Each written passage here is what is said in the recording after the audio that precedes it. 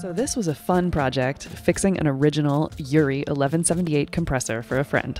The 1178 was the stereo version of the famous 1176 peak limiter, and therefore would make an impressive bus compressor for any studio's collection. This original was an exciting find for my friend, but unfortunately, it had some serious problems. First and foremost, this was the only sound it made.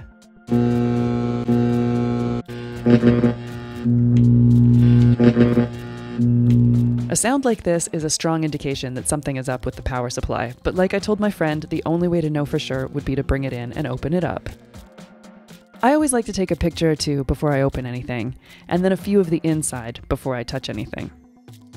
So, with the help of my mentor Tyler, we got it open on the bench and looked at the schematic for the power supply, specifically looking to see if it was supplying the correct voltage out of the power supply to the rest of the circuit, in this case, plus and minus 18 volts.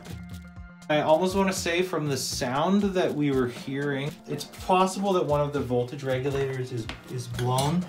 So we turned it on to check for plus and minus 18. If these are accurate, it means everything here is correct. Right. If these are wrong, then we're going to go back. Once we started investigating, we discovered that one leg of the voltage was wrong, and on the other, there was nothing.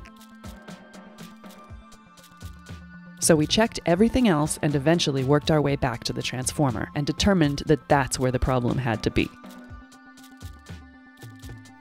We double checked that it was wired up correctly and accurately to the schematic.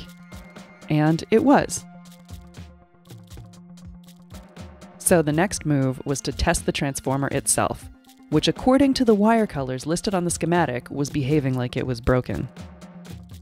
A few days later, as I was laying in bed, I realized that if the colors had been labeled incorrectly on the schematic, then that would have caused the measurements we saw during testing, and the transformer might be just fine. So we took another look at the transformer, checking the wires in opposite pairs to what the schematic had shown. And it turned out that the only thing broken was the labeling on the schematic. The transformer was actually fine. Since it had been wired in wrong and was supplying the wrong voltage, one of the voltage regulators had indeed fried, which confirmed Tyler's original theory about why it was making that terrible noise. There was some damage to the circuit board around the voltage regulator from it dissipating excessive heat, but with a little effort, I was able to get a new one soldered in.